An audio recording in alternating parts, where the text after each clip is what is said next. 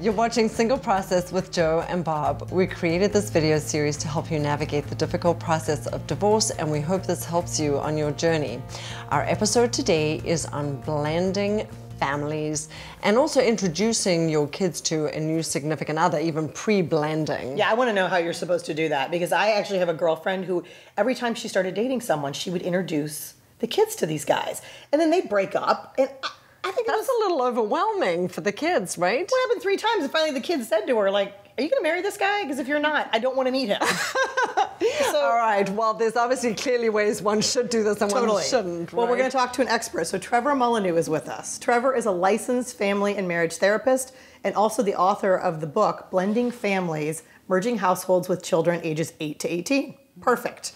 Thank you. Uh, good to be here. All right. So start I mean, so when you know when should you even start dating after yeah, the whole divorce? I do think everybody needs some time to to get over the hurt and the loss, and and sometimes you know it's widowhood. Mm-hmm. You're maybe blending out of uh, death as well. So take some time. Get you know take care of yourself. Maybe a year, two years. Let's say minimum six months. Give yourself some time to get yourself back on your feet. When you start dating keep it away from your children for as long as possible. Okay. I really do believe you need to be in a relationship that's very serious, that you're actually thinking you're about to maybe marry this person or move in. So, to your friend who probably felt excited and thought these guys were right. fabulous, yeah. Um, you know, I, I understand the enthusiasm. Just take some time because you really don't know I yet. think the difficulty is you want to see this person you've just met, mm. and if you are the primary parent, mm. you have very little free time. And yes. if you don't That's want any comment. intersection between mm. your kids and this new person you're dating, mm-hmm. you don't get to see them very much. And I think yeah. that's why a lot of us you know, yeah. introduced sooner than we should. Yeah. If you can, find sitters, find ways or play dates, ways that you can make some boundaries around okay. this. Because yes, you do need to date, you do need to start developing your personal life again. You need to do it away from your children. I believe as long as possible. Really okay. have the felt sense that this person's really your person and you're now intentionally getting ready to introduce them to your child. How should you introduce that person mm-hmm. to your children? Um, again, age appropriate. Um, okay I would say young children, you're going to maybe do something like go to a park or go do something fun, maybe a hayride or whatever, some you know what a seasonal fun thing, outdoor thing that's easy and simple. Um, if that other person has children, same kind of thing, and keep it a very small amount of time. You all know, of the kids together. Patch. All of the kids together. Yeah, maybe meeting? if they're all little, you know, really? a little, very, very again very small amounts of time, see how it goes. Again, age appropriate, think about mm-hmm. it. Okay. Um, as they get older, maybe a movie, maybe where it's not so much on one on one looking yes. at each other, but yes. do something that's entertaining or maybe a, a whatever, playing video games or whatever it might be.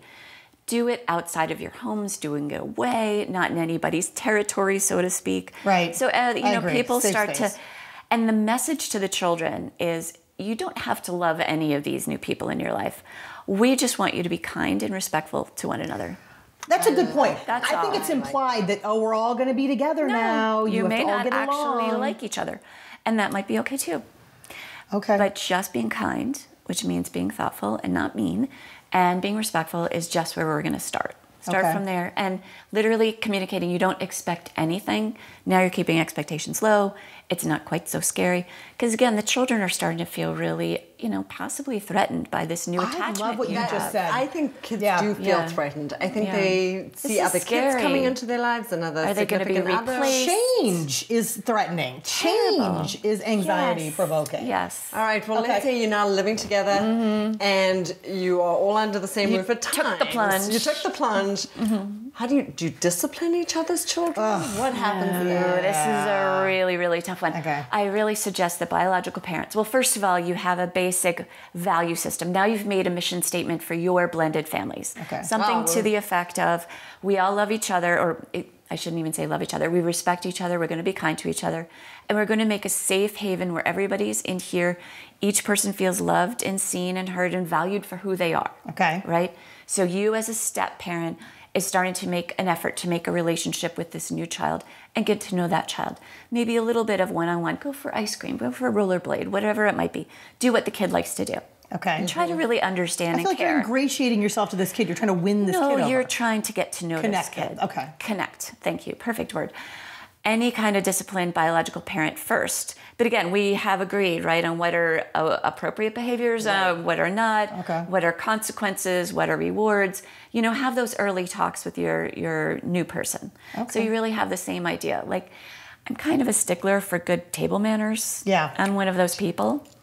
Yeah. So I think every one of my stepchild would, children would say, and I've parented step parented three now, Wow. that they have really good manners. But it started off pretty waf- lawfully, and it'd be like, sit up, elbows off the table. You do not bring your, you know. Yeah. Yeah. Um, and now they're all pretty glad. But it took a little time, and there was a little rubbing and fighting back. And their dad was very supportive and did not undermine me.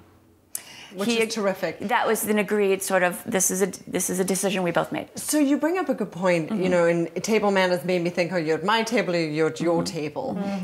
I think that's difficult too. Whose territory are you on when you move in together? Whose home are you in? And so whose Mm-hmm. rules are you living by?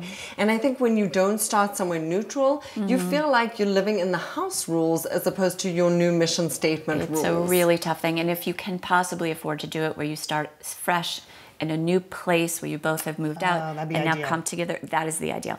And sometimes it's not possible. And then that's the other point where you need to sit down, not with the children, but your new person, Yes. partner, and you say, okay, so how are we going to do this together? And that person does need to be very mindful that he or she needs to make space for you emotionally. Um, everything about that. You, this is your house too. How are we going to do this together? It, it takes a lot of intent and love and compassion, truly. I've heard the other side of the coin too, and your mm-hmm. sister does this.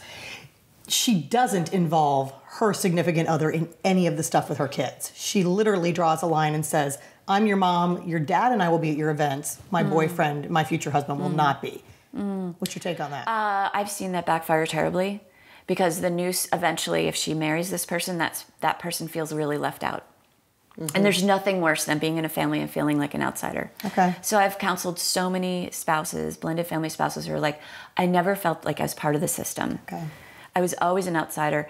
And you know what? As a step parent, all you want all you want to know is that your influence has been heard. Yeah. It may not have been taken, but at least you had a say feel or a part of word, things. Part of something. Yeah. Right. So let's say your spouse, your mm-hmm. ex spouse, starts a new family. Mm. Now your kids are feeling really left out, 2nd mm. citizens. Like, and they immediately think they're going to be replaced. Yes. And that's really tower. I mean, talk about sheer attachment panic. Mm-hmm. Um, so you really need to encourage your spouse to make or ex-spouse to maintain a good relationship with those kids, and also sometimes it can be a very positive thing.